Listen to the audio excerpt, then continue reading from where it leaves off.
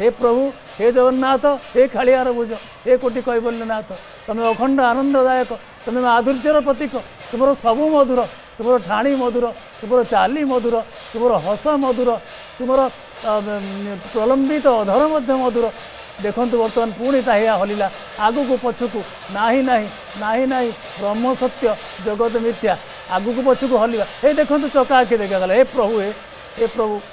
ଏ ଚକା ଆଖିକି ଚାହିଁ ବସିଥିଲେ ଲୋକମାନେ ଏ ଆଖିର ଠାକୁର ମହାପ୍ରଭୁ ଜଗନ୍ନାଥ ବଳିଆର ଭୁଜ ତେଣୁ ଏ ଆଖିକୁ ଦେଖିବା ପାଇଁ ଲୋକମାନେ କେତେ କଷ୍ଟ କରି ଯାଆନ୍ତି ସାଲବେଗ ଧାଇଁ ଆସିଥିଲା ଏ ଆଖି ଦୁଇଟାକୁ ଦେଖିବା ପାଇଁ। ତେଣୁ ଏଇଠି ଯେଉଁମାନେ ଦେଖିପାରୁନାହାନ୍ତି ସେମାନେ କହୁଥିବେ ଯେ ଆଜି ମୁଁ ଯାଇପାରୁନାହିଁ ପ୍ରଭୁ ଠିକ୍ ଅଛି ମୁଁ ଏଇଠି ବଳରାମ ଦାସ ଭଳି ଭକ୍ତିରେ ଭାବରେ ରଥ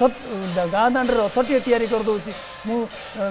ନିଜର ଭାବନା ଭିତରେ ମହାପ୍ରଭୁଙ୍କୁ ଦେଖିପାରୁଛି ସେତିକି ମୋ ପାଇଁ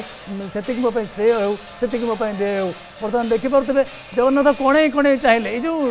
ଅଁ, ଚାହୁଁଛନ୍ତି ଯେଉଁ ଠାଣି ସେ ଠାଣି ଯେଉଁ ଗୋଟେ ରାଜାର ଠାଣି ଏ ଯେଉଁ ହସ ସେ ଠାଣି ଏ ଯେଉଁ ହଲି ହଲି ଦୋହଲି ଦୋହଲି ଆସୁଛନ୍ତି ଝୁଲି ଝୁଲିକିରି ଆସୁଛନ୍ତି ଝୁଲି ଝୁଲି କିଏ ଆସୁତାଇ ଗୋ ମୋର ଝୁମୁରୁ ଝୁମୁରୁ ଯାଇ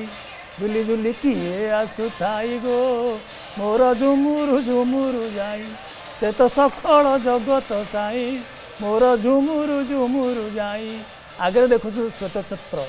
କଳା ଠାକୁରଙ୍କର ଶ୍ଵେତଛତ୍ର ଏ ଶ୍ଵେତ ପରିଶୁଦ୍ଧତାର ପ୍ରତୀକ ଏ ଶ୍ଵେ- ଶ୍ଵେତଛତ୍ର ହେଉଛି ବିଶୁଦ୍ଧତାର ନିର୍ମଳତାର ପ୍ରତୀକ ଏ ମନ